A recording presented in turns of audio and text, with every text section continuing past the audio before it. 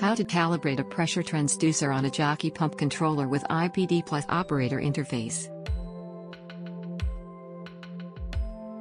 Only start this procedure 10 minutes after having connected the Metri-Pack connector to the pressure transducer.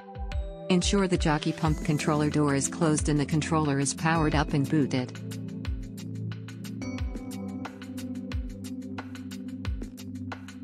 Press and hold the config button.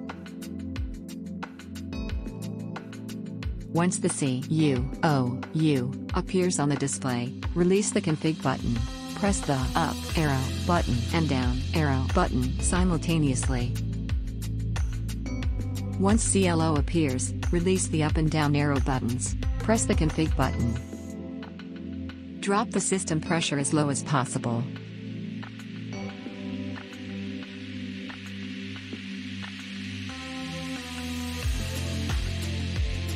By pressing the up and down arrow, enter the value displayed on the external calibrated gauge.